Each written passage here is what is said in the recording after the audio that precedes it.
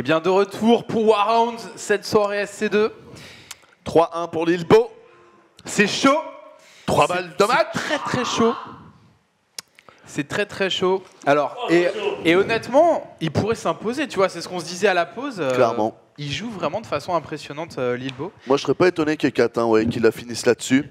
Et on sera sur euh, Outboxer 4-1. pour cette map. Tu as dit Catin 4-1, ouais. Catin, c'est ouais, c'est dans un jeu d'alcool, je crois. C'est quand tu fais 4-1 avec des dés. Ouais. C'est le catin. Ah, je Ok. Bref, que pour ça, euh, ce prochain match. big up aux écoles de commerce, tout ça. Po, po, po. Vous savez vous-même. Mais enfin bref, mais c'est un truc de ouf de voir Lilbo quand même. Enfin Yoon, faut rappeler, Yoon, c'est pas un mec qui rigole en fait. Il vient de gagner le WCS américain, mon gars. Il vient de gagner les WSS Amérique, il gagne, euh, il joue en MLG. Enfin, euh, c'est euh, c'est ouf d'arriver à mettre euh, trois games à un joueur comme Yoon. Donc de base, GG Lilbo qui bah, qui représente quand même déjà quoi, même s'il perd au final, qui représente bien la fond quoi. Il est au top. hein. C'est Lilbo, il est au top. Il présente la France pas pour rien. hein. Chaud. Il est trop Il est chaud Lilbo. C'est incroyable. On voit Lilbo, on voit Todd, on voit Daichi. Ils sont au top. hein. Ils sont au top Ouais. niveau international. Les Coréens, ça leur fait pas peur maintenant. Ouais, Stéphano euh, qui, euh, qui va d'ailleurs taper Stéphano MC aussi, ouais. demain. Oh, Stéphano Coréen, MC encore. au Meltdown. Et, euh, et ce sera à partir de 20h. Donc voilà, euh, Et- et en un fat match. En stream également sur Gaming TV. Et, euh, et ce- ça se passera. Donc c'est un show match vraiment. C'est euh, histoire de régler un grief qui a commencé sur Twitter euh, en mode euh, You noob, you shobo. Euh, et du coup, il faut absolument qu'on sache effectivement qui des deux est le plus noob.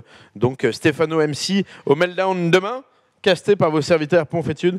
Et, euh, et ça va être fat. Mm. Mais euh, j'ai hâte de voir ce que va répondre Yoon du coup. Parce que là, Yoon, il doit. À mon avis, il doit se dire c'est qui ce petit con quoi? Clairement, on est à 3-1, les amis. La game est lancée. On joue sur Outboxer. Nous avons donc en bas à droite de la map pour la team Rocat. Youn, mes amis, en zergue rouge. Et en haut à gauche de la map pour la team XMG. XMJ Lilbo. Lilbo.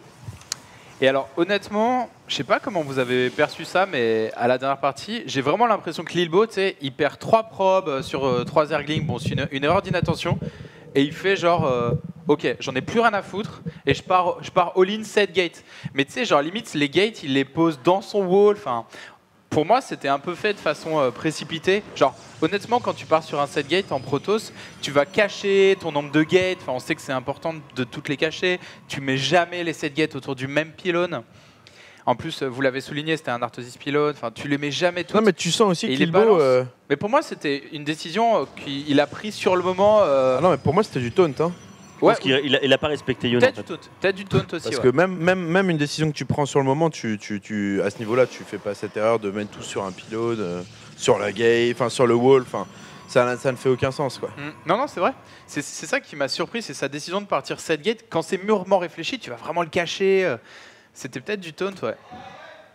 La petite probe ici qui va arriver et qui va aller scouter tranquillement la B1.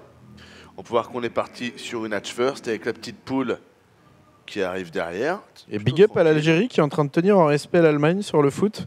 0-0 toujours. Toujours 0-0 Ouais. Hmm, Très serré. On a plus de 70 minutes. Donc, euh, ouais, big up. Attention ici, on peut voir que Lilbo il va nous envoyer son excuse, vous avez vu, juste après la gateway.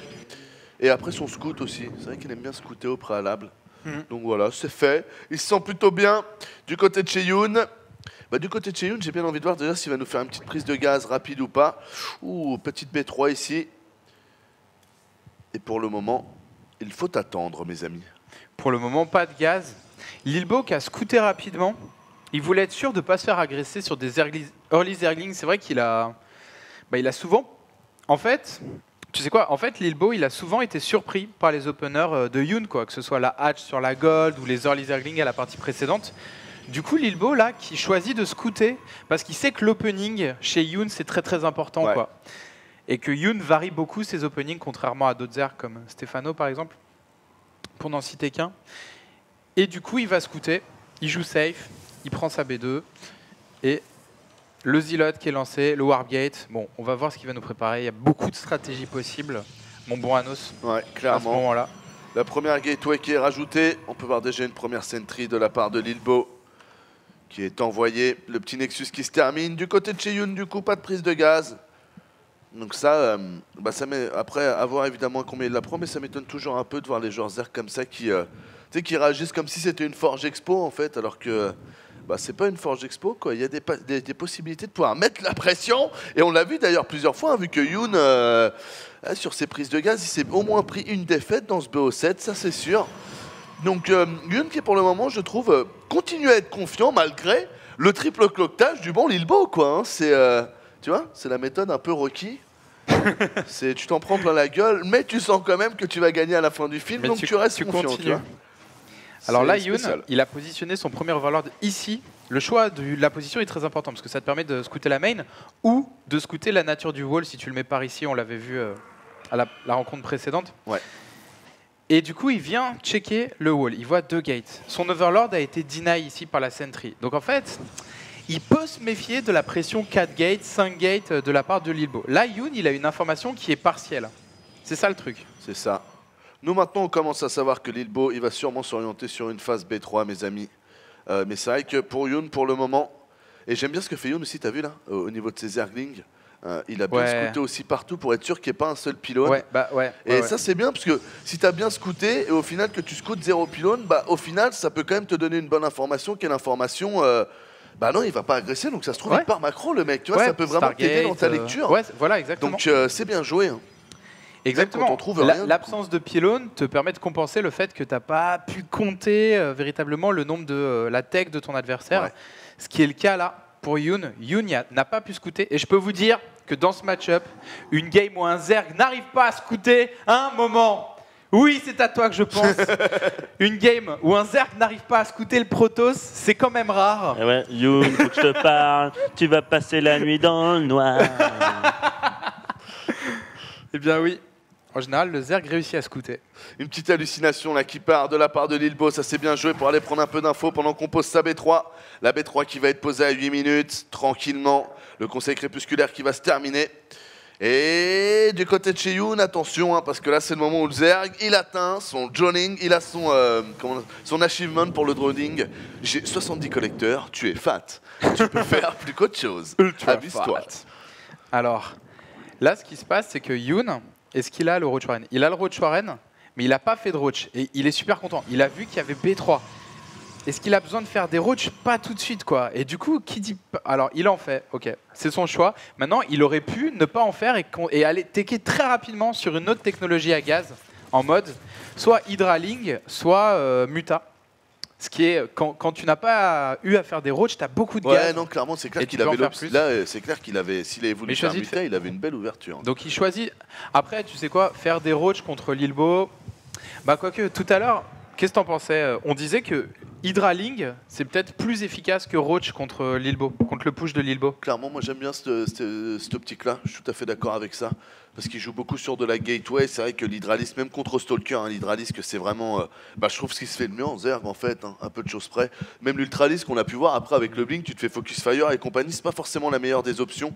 Euh, L'Hydra, euh, c'est quand même une belle bête. Ouais. J'aime bien, je veux juste en parler rapidement. euh, parce qu'il se passe tellement de, enfin, il se passe Ouais. tellement de choses. Je veux dire, tactiquement. Ouais. Le bata d'été, là. Ouais, Franchement, j'aime bien parce que c'est risqué. Moi Il aussi. envoie avant le blink et compagnie. Je sais pas ce que vous en pensez, mais d'un autre côté, c'est un timing dans lequel normalement tu vois jamais de DT. Donc je vois pas pourquoi est-ce qu'il s'y attendrait euh, son adversaire. Ouais. C'est un overseer. Hein.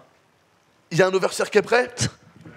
Attendez, que je cherche l'overseer Au-dessus- unité. Non, au-dessus je de le vois l'armée pas l'overseer là. Attends, Si, attends. euh, fait U, il fait Ah overseer. oui, il est là, bien vu. Excuse-moi. L'overseer qui est devant la B2. Oh, oh, c'est dommage, les 3 DT qui vont arriver. Oh là là là là, mais il l'avait vu le bata DT Non, il l'a pas vu. Qu'est-ce que c'est bien joué le coup de l'overseer là de la part de Yoon. regarde le positionnement des DT aussi. Oh là là là là. Ah, D'accord, il s'en sert même pas pour Mais un c'est race pour le sneaky. moment. Pour l'instant, il veut localiser l'arm- l'armée de son adversaire. C'est sympa ce Parce qu'il nous fait. là. attend que son adversaire attaque, peut-être. Tu vois, là, il l'a localisé, mais avec un phénix. C'est-à-dire que Yoon, il sait pas qu'il y a un DT ici. Le DT, il bouge pas. Le DT ici qui attaque les roads, c'est pas mal parce que ça se trouve, il va provoquer du coup l'avenue du vigilant ici. Il va peut-être en profiter Ouais, pour c'est ce qu'il rentrer. fait, Regardez, c'est ce qu'il fait Mais C'est- c'est magnifique C'est ce qu'il fait. Bon move brain là C'est de la une part de diversion. Lilbo. Mais vraiment, Lilbo, il joue. euh, mais, Mais- c'est de semaine en semaine qui. euh, Mais c'est de fait monter son l'infiltration, skill, ce mon mec. gars. C'est incroyable. C'est de l'infiltration. Allez, c'est parti, miam miam miam. Oh la position, c'est magnifique. Ça, regardez, les DT en fait, ils ont du mal parce que l'ordinateur leur dit de cibler la Queen, car c'est l'élément le plus menaçant. Mais comme les drones autour euh, bah, cerclent totalement pendant qu'ils sont dans une grosse prise de fight, donc on verra ça plus tard. Lilbo va-t-il tenir tous ses roches et ses airlings Très bon force field. Euh, la charge photonique. Elle est là ou elle est pas là, là J'ai elle du mal à elle est là. voir. Elle Ouais, tape, elle est elle là, tape. merci moment. Elle est là. Et du coup, ça tient pour le moment. Non. Mais ça Ah chauffe. bah non, elle tape pas. Ah, Non, ça elle y est pas. Non. Ok, elle y est pas en fait, les mecs. Je me disais bien. Grosse, grosse, grosse voir. pression de la part de Yoon. Est-ce que Lilbo va réussir à tenir La Blink micro, attention. Ah, ici, il faut un glaçon. Pour l'instant, il tient. Mais il a pas la mana Non, il y a beaucoup de pop en face. Ah ouais, ouais, ouais, il y a Non, quand même beaucoup pas. de pop. Là, il a le blink. Alors, il va pouvoir peut-être un peu plus euh, se démerder. Le problème, c'est que tous les Zerglings vont bien là sur ces Stalkers. C'est exactement ce qu'il ne faut pas, mes amis. Allez, là, il s'en sort pas mal sur la zone B2, la B3 pour le moment. Allez, là, il envoie la charge photonique. Il a pas perdu tant de collecteurs que ça. Pour le moment, il est toujours à 61 collecteurs. 10 mutants en cours de prod, par contre. Un Yoon qui utilise son temps judicieusement, j'ai envie de dire. Et du coup, il a quand même contré, les mecs. Il a contré. hein. Il a tenu. Alors là, ce qui se passe, c'est que nous, on le voit, il y a un switch muta. Donc on sait que Lilbo, il pourrait accumuler un, compte de stalker et passer à l'attaque. Mais lui, comment est-ce qu'il va faire pour avoir l'info? Et bah, de toute façon, il peut pas scouter. Il a pas vraiment de quoi scouter. Il voit des Zerglings qui passent. Et il a vu les mutas à l'extrémité de son champ de vision. Et il sait qu'il peut passer avec de la grosse micro. Il peut passer. Tant qu'il n'y a pas trop de Zerglings, mais dès qu'il va avoir les Zerglings, il sait aussi qu'il peut tout, tout perdre. Ah, c'est risqué là. C'est risqué. Que va décider Lilbo? On a 20 Zerglings en cours. C'est Allez, parti, on a l'engagement. Les qui qui prend la arrivent. fight. Allez, il commence à fuir. C'est bien joué, un il est sur le creep, les amis. Il y a beaucoup de Zerglings. Les Zerglings qui vont totalement nullifier le DPS des, euh, des Stalkers. Et les mutas, ça fait mal quand même. hein. Euh, donc, euh, au final, il pourrait prendre très cher. C'était pas mal, là, le fait qu'il arrive sur la droite. Oh là là. Oh là là, c'est bien ça. Il n'y a plus trop de Zerglings. Il peut commencer à attaquer les mutas. Ah, il y a des mutas qui tombent. Non, mais attends, là, c'est worth it, là, pour lui. C'est un truc de dingue. Ah, il a perdu pas mal de stalkers quand même. hein. Je pense que c'est chaud, c'est vraiment chaud. Mais c'est vrai que la plupart des mutas sont tombés. Je pense que sa prise de fight a été fucking worth it. hein. C'est un truc de dingue. hein. Je pense que ça, ça valait le coup. Ouais. Parce qu'il a dû tomber. Fais un petit Ouais. shift L, il y a combien de mutas 16 mutas, les mecs 1600, 1600, 1600, les amis. hein. C'est ça, 16 mutas. hein. C'est euh, c'est 1600 de gaz, quoi. 1600 de minerais qui viennent d'être totalement absorbés, comme, comme un trou noir qui absorberait voilà, notre beau monde, comme si euh, tout ceci n'était rien. C'est choquant quand même. C'est très choquant. 119 de pop à 128 en termes de population d'armée. On a 68 de pop pour le genre Zerg, 56 pour le genre Protoss. En termes Ah. d'income, vous le voyez, on a 63, 63. On a une B3 qui va tomber, mais il y a une B4 qui mine. Donc, euh, bah, C'est chaud les marrons chauds. Hein. Alors il l'a pas encore chopé, mais là, là c'est vrai que l'écart de pop s'est réduit. Cette base va bientôt tomber. Oh, et la fight qui va être prise, la bonne bubule. Attention, les mutas qui passent à l'attaque. Les mutas, il y en a une dizaine. Est-ce que Lilbo a suffisamment pour l'emporter Ah, J'ai l'impression qu'à chaque fois, il tombés. manque il- quoi, une trentaine de Zerglings, tu vois. Il manque une double inject de Zerglings en plus. Il aurait 60 Zerglings à chaque fois au lieu de 34. Euh, je suis sûr qu'il y arriverait, mais là, il lui manque. J'ai l'impression un petit tour d'inject global de ses Non, mais il passe là. Et regarde, et non, mon gars, c'est ouf, encore Oh une là fois. Mais c'est ça qui est beau avec Hallucinant. Lilbo, c'est que tu te Hallucinant. dis à chaque fois que ça va pas passer, et ça passe, tu vois. C'est vraiment fou. Ça s'appelle le skill C'est ça, poulet. Il est super fort. ou le lube. Et ça s'appelle une catin, on dirait. hein. Elle est bonne. Je la- Celle-là, je la signe. Je l'ai bien aimée. Attention, Stalker qui back, Blink défensif, Blink out, comme on dit. Allez, les îlots qui viennent aider. Est-ce qu'il y a suffisamment de hein. stalkers Je- Hmm, Non, il n'y a pas assez de les on le lead. hein. Bah, ouais, et puis la micro des mutas est pas mal aussi. Hein. Ah, Yoon qui est en train de prendre le dessus avec les mutas. C'est con parce que le moment d'avant, on pensait que, que Lilbo l'avait. Mais il réussit à défendre. Alors, où est-ce qu'on en est? À l'économie, c'est très proche. Au nombre de bases, Zerg 3 bases, Protoss 3 bases. Il a une bonne écho. J'aurais bien aimé qu'il envoie une petite Stargate ou deux pour, euh, euh, pour tenter de, d'envoyer le Phoenix. Si t'arrives à envoyer du Phoenix, tu coupes totalement le. Tu vois ce que je veux dire? Il joue sur deux Ouais. leviers là, et tu coupes un des leviers, et c'est le levier technologique en plus qui fait que derrière, limite pour euh, dépenser son gaz, Yoon, il sera un peu en galère. Il lui restera quoi? Un Batarouch, je sais pas, avec son Batarouch qui va faire quelque chose contre les Stalkers, et même les Phoenix seront useful vu qu'ils permettront de lever les trucs. Attention, encore une prise de fight ici. Mais là, j'ai l'impression que s'il reste que sur du Stalker, il va être un peu trop dans le jeu Yoon, et même s'il a une très bonne micro, exécution, etc., etc., Ouais. c'est chaud quoi. C'est le Ouais. contre. En face, ça fait. Enfin, c'est le contre. vous me Ça fait mutaling, ça intercepte les pylônes, ça intercepte les renforts et surtout Lilbo a perdu la position avantageuse qu'il avait entre les hatcheries. Et la masse C'est le plus critique grave. aussi. hein.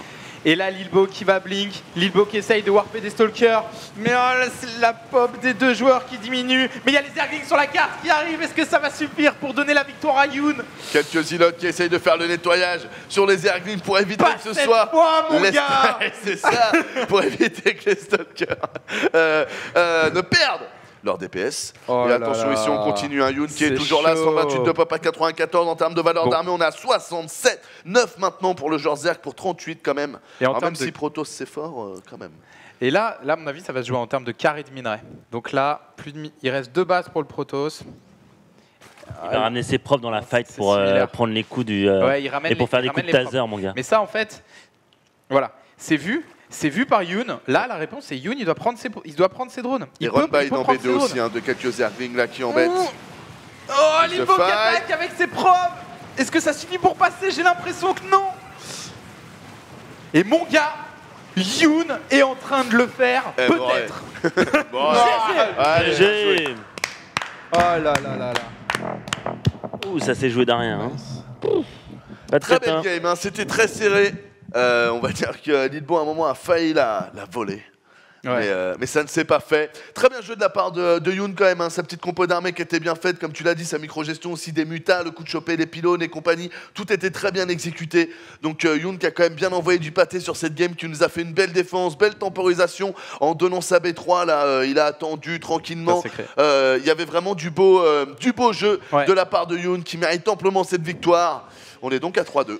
Et alors, on peut remarquer que Lilbo a différents BO, mais qui mènent toujours à la même composition. C'est Blink Stalker avec le plus de d'attaque et euh, avec le plus de d'attaque et quelques sentries. Tu vois, soit il passe par la case DT, soit il passe par la case euh, robot avec un immortel, mais ça finit toujours par pousser sur trois bases, pousser, pousser avec des Blink Stalker. Ah, c'est son style de jeu, tu vois. C'est comment est-ce qu'il va arriver au Blink Stalker Qu'est-ce qu'il va faire avant? Mais il veut toujours faire ce push. Exact. Non, c'est souvent- marrant. C'est souvent ça. Le, euh, le tronc, euh, la Le tronc finalité, commun. le tronc commun est toujours Voilà. un peu le même. C'est vrai. Euh, Qu'en avez-vous pensé, mes chers compatriotes? Ah bah big up au tronc commun, hein, c'est euh, ça paye Le toujours. tronc commun. Aujourd'hui, ça n'aura pas payé. Et, euh, et grosse, bah après c'est Yoon quoi, mais grosse gestion de Yoon, notamment grâce à sa troisième base. C'est fou, le mec il peut perdre euh, une base, euh, 25 drones, euh, l'équivalent de deux fois toute son armée, il arrive quand même à revenir quoi. Ah. C'est clair. Et euh, Moi, je trouve qu'il y a un point Belle où défense, euh, quoi. c'était vraiment une très belle game, deux joueurs exceptionnels. Au moment où il, a- il- il y a un truc qu'il aurait pu faire, Lilbo, c'est au moment où il a tué la B3, au lieu de continuer sur, vers, la- vers la B2, Ouais. il aurait été directement allé derrière pour, sur la, B4, ouais. et en fait monter, puisque les Zerglings, il aurait, il aurait fait un wall avec ses stalkers, tuer cette base et finir la game en fait. C'est vrai. C'est ce qu'il aurait pu faire. Bon, après, c'est plus facile à nous parce qu'on est Ops. C'est ça, et que lui, euh, c'était ouais. le moment où il savait pas Ouais. s'il y avait 80 Zerglings ou que 20, donc Voilà. euh, bon. Et il aurait fait ça, il aurait gagné la game là-dessus. Ouais, voilà, après, con, ça joue d'un rien du tout, euh, deux joueurs exceptionnels, et euh, franchement, les Zerglings et Et on vous le dit micro. souvent en plus les amis, hein, quand vous attaquez B2, c'est que vous voulez gagner, finir la game. Si vous allez chercher les dernières bases posées, c'est que vous continuez une stratégie un peu d'étouffement pour affaiblir votre adversaire et pouvoir lui porter le coup de grâce plus facilement. Big up à The Mountain qui connaît très bien cette stratégie, le coquin.